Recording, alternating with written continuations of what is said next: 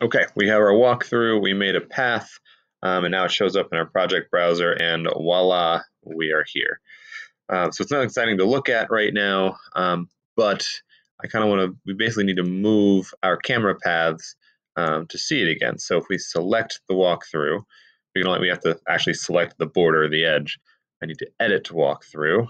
Um, and now I should be able to see it on my ground floor view, or if you're in a 3D view, you'll be able to see it there as well, either from the top where you see the path, um, or if you look at it from the side, you'll see the height. Um, now, if you notice on the camera, on this little camera here, there's a little red dot. Zoom in here.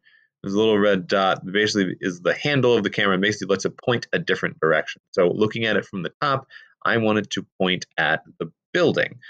Um, and now, is that the view that I want? I'm not sure. I could click back and forth and look at the walkthrough and go, oh, okay, I'm pointing at the building, but I'm kind of looking over the top of it. So now if I go to my 3D view, uh, well, if I if I turn this and I look at this this way, maybe if I turn it to the side a little bit, I still have the same handle, but now I can grab it and look pan down. You can do this from an elevation view as well, which will keep you in the strictly adjusting the height. I'm in a 3D view, so you can kind of adjust both a little bit. Um, and now I check my walk through and say, okay, that's that's better, but not great. I kind of screwed up the direction here back on the ground floor. So I'm going to fix that direction. You may want to fix height and then fix um, which way it's pointing. And you want to make sure this part is how far the camera sees. If I don't put this all the way through the building, my walkthrough, it cuts it off. That's kind of the end of the view. You want to make sure you do put that all the way through all the things you want to see uh, to make sure that's all the way through the building. Okay, now it's kind of getting getting kind of getting cumbersome. Uh, yeah, it looks better. It's kind of getting cumbersome. Keep going back and forth between. So I'm going to change my view. I'm going to take these three tabs 3D, ground floor, and the walkthrough, and go to tile views, which is basically going to, well, tile the views.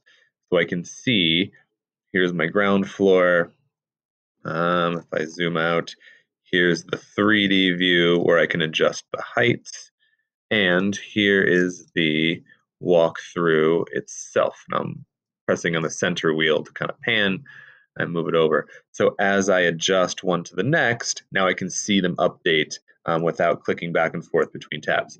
So if I go back through editing my walkthrough, here's the annoying thing. I want to get to uh, the walkthrough again, right? So I click on this point, go to the next one, and it goes, oh, do you want to quit editing? Like, no, I want to edit, right? Just click on it, do the thing. It goes, oh, do you want to quit editing? I want to do the opposite of that. Super frustrating. Um, so Revit 2021, Autodesk, if you're watching and listening, make me able to click that and just go to it for now, for after lots of frustration, I realized next keyframe. Ta-da! And you go to the next camera.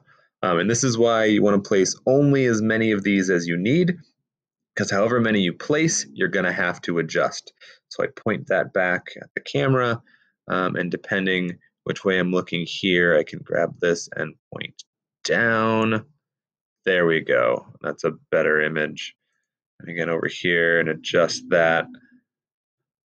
Cool. So basically you go through and adjust your keyframes and move your cameras so they're pointing how you want them to point.